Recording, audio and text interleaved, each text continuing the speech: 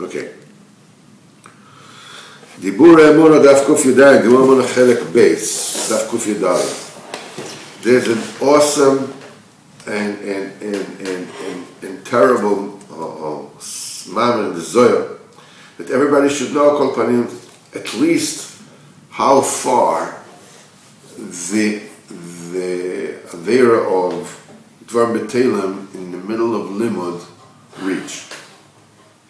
said in the Zohar that anybody who learns Torah and stops in the middle, you know, in, in other Diburim, and it says over there, you know, and the mashma over there is that he's saying things are not proper. You know, like like like nibul and stuff like that. You know, it's like a, and immediately he comes back to his limud. He is being manada. He's being shunned. Mishamai. They, they, they boycott him for forty days. And there's a cruise. There's, there's an announcement going up in all the world that this person is banned for 40 days. In all these 40 days, he's banned Mishamayim. His tefillahs are not Mekabel. They don't accept his tefillahs. And after 40 days, there's another announcement comes out that the Chaim was taken off that person. That's what this Mama of is saying. And a lot of Sifrei Mussar are talking about this particular Zohar. The Zohar says that, that, that, that every Pgam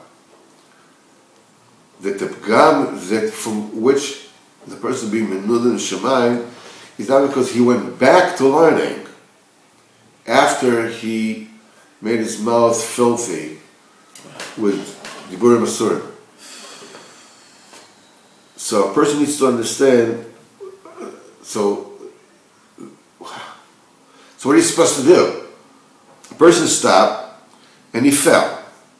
Okay, he learned, and then he spoke something he shouldn't have. Okay. So because he spoke the word, now he should not, should not go back to learning. What is supposed to do? As the, the as, as, as, the Gemara says, anybody who eats uh, uh, garlic and his mouth smells, or he'll eat some more garlic. What is supposed to do?